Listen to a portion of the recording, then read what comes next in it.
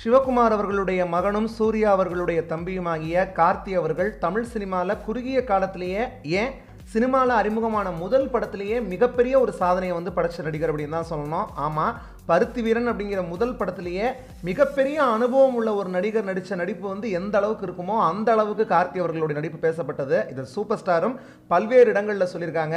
ஏன்? காப்பான் திரைப்படத்தினுடைய இசை வெளியீட்டு கூட இந்த விஷயத்தை சூப்பர் ஸ்டார் வந்து பேசியிருப்பாங்க. அந்த வகையில் நடிகர் கார்த்தி அவர்கள் சூப்பர் ஸ்டார் பற்றி ரொம்ப அற்புதமான அவருடைய அந்த ஃபேன் பாய் மூமெண்ட் அப்படிங்கிறத முழுசாக இறக்கி ஏராளமான பேட்டிகளில் நிறைய விஷயங்கள் பேசியிருக்காங்க. அதில் எல்லாரையுமே புல்லரிக்க வைக்கக்கூடிய கார்த்தி அவர்கள் பேசின ஒரு அற்புதமான விஷயத்தை தான் நம்ம அந்த வீடியோவில் வந்து பார்க்க போகிறோம் வாங்க விரிவாக பார்க்கலாம்.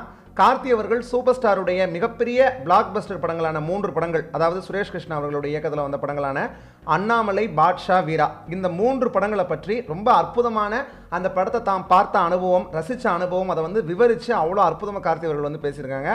என்ன அப்படின்னா ஃபஸ்ட்டு அண்ணாமலை திரைப்படம் வந்தேண்டா பால்காரன் அந்த ஓப்பனிங் சாங் அவ்வளோ பெரிய ஷாட் இருக்கும் ரஜினி சாருடைய ஓப்பனிங் கேமரா போயிட்டே இருக்கும். அவர் திரும்பவே மாட்டார் ரஜினி சார். எப்போ திரும்புவார்?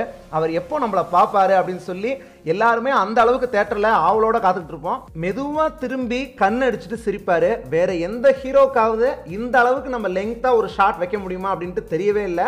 ஆடியன்ஸும் அவர் திரும்பி பார்த்து சிரிக்கிற வரைக்கும் தொடர்ச்சியாக கை தட்டிகிட்டே இருப்பாங்க. தேட்டரில் அந்த சீனை வந்து பார்த்தது இன்னும் அப்படியே ஞாபகம் இருக்குது அதே மாதிரி அண்ணாமலை படத்தில் ஒவ்வொரு காட்சியிலையும் ரஜினிகாந்த் அவர்கள் பேசக்கூடிய பஞ்ச் டைலாக்ஸ் அதுக்கப்புறம் தான் பஞ்ச் வசனங்கள் அப்படிங்கிற ட்ரெண்டே ஆரம்பிச்சு இப்போ வரைக்கும் நம்ம எல்லாருமே எல்லா நடிகர்களும் நாங்கள் வந்து சூப்பர் ஸ்டாரை ஃபாலோ பண்ணி தான் அந்த விஷயங்கள் எல்லாம் வந்து பண்ணிட்டு இருக்கோம் தேவா அவர்களுடைய மியூசிக் சொல்லவே தேவையில்லை.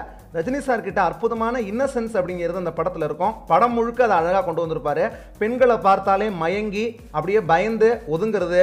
அது மாதிரி சூழ்நிலை வந்த பிறகு தன்னைத்தானே மாற்றிக்கிட்டு வேற ஒரு பரிணாமமாக மாறி இன்னசென்ஸாக இருந்த அந்த கேரக்டர் அண்ணாமலை அப்படிங்கிற கேரக்டர் அப்படியே டிராஸ்டிக்காக மாறி செகண்ட் ஹாஃப்ல வேற மாதிரி ஒரு பரிணாமத்தை அண்ணாமலையில் வந்து காமிச்சிருப்பாரு. அடுத்தது பாட்ஷா நான் ஸ்கூல் படிக்கும்போது தேட்டரில் போய் பார்த்த படம். திருப்பூரில் பார்த்தேன். காலையில் ஆறரை மணி ஷோ நூறு இருநூறு ஆட்டோ இருக்கும். அந்த ஆட்டோவில் ரயில்வே ஸ்டேஷனில் இருந்து பாட்ஷா பட பிரிண்ட்டை ஊர்வலம் மாதிரி தேட்டருக்கு கொண்டு வராங்க.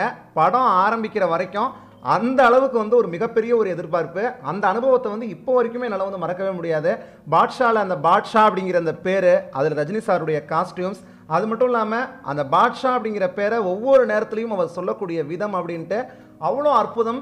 தேவா அவர்களுடைய பாடல்கள் அண்ணாமலை மாதிரியே பாட்ஷாலையும் ஒவ்வொன்றும் வந்து பட்டையை கிளப்பியிருக்கோம்.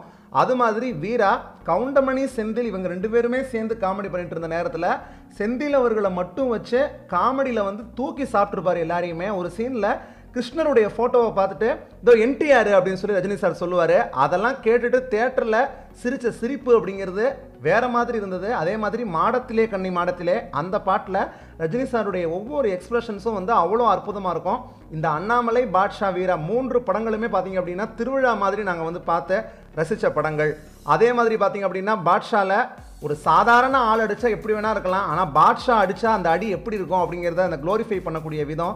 ஃப்ரேமே இல்லாத அவருடைய கண்ணாடி. இப்படி ஒவ்வொரு விஷயங்களுமே ஸ்பெஷல் தான் பாட்ஷாவில் எல்லாத்துக்கும் மேலே நான் என்னதான் கமல் சாரை மிகப்பெரிய அளவில் ரசித்தாலும் கூட சினிமாவில் ரொம்ப ஒரு வெறித்தனமான ஒரு ஃபேனாக ஒருத்தருக்கு இருக்க முடியுமா அப்படின்னு கேட்டால் கண்டிப்பாக அது ரஜினி சாருக்கு மட்டும்தான். நான் வந்து அப்படி ஒரு ஃபேனாக இருக்கேன்.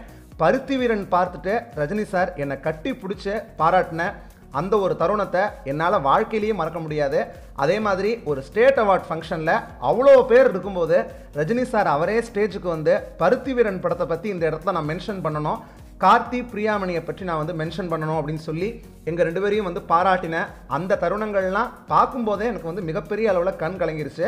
அவ்வளோ விஷயங்கள் சாதித்தாலும் கூட இப்போவும் வந்து சிம்பிளாக எளிமையாக எல்லாரையுமே பாராட்டக்கூடிய அந்த ஒரு நல்ல மனசு அப்படிங்கிறது அவர்கிட்ட மட்டும் தான் இருக்குது அப்படின்னு சொல்லி ரொம்பவும் நெகிழ்ச்சியோட கார்த்தி அவர்கள் வந்து சொல்லியிருக்காங்க. அதே மாதிரி கடந்த நான்கு ஆண்டுகளுக்கு முன்னாடி ஒரு நடிகர் சங்க எலெக்ஷன் நடந்தது. அப்போ ரஜினிகாந்த் அவர்கள் சொல்லியிருந்தாங்க தென்னிந்திய நடிகர் சங்கம் அப்படிங்கிற பேரை தமிழ்நாடு நடிகர் சங்கம் அப்படின்ட்டு மாற்றணும் அப்படின்ட்டு. அதுக்கு வந்து கார்த்தி அவர்கள் என்ன சொல்லியிருந்தாங்க அப்படின்னா பேர் மாற்றுறது அப்படிங்கிறது இந்த நேரத்தில் வந்து அவ்வளோ முக்கியமா? அப்படின்ட்டு உறுப்பினர்கள் யாருக்கும் தெரியல. அதை விட நிறைய முக்கியமான செயல்பாடுகள்லாம் செய்ய வேண்டியிருக்கு அப்படின்னு சொல்லி கார்த்தி அவர்கள் சொல்லியிருந்ததை ஊடகங்கள் அப்படியே மாற்றி ரஜினிகாந்த் அவர்களுக்கு எதிராக கார்த்தி அவர்கள் வந்து கருத்து அப்படின்ட்டு செய்தி வெளியிட ஆரம்பிச்சிட்டாங்க. வழக்கம் போல் ஊடகங்கள் செய்யக்கூடிய வேலை தான் இது.